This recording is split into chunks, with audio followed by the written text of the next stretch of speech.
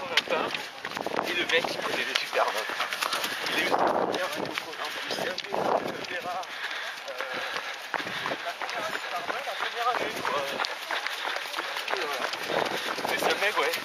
Alors, ce qui avait de rigolo, c'est qu'il y en avait d'autres cas comme lui. Mais ils avaient, on va dire, le profil.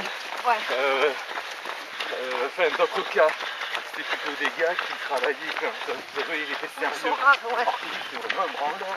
Voilà. Vous voyez, se trouvaient là, à chaque sieste,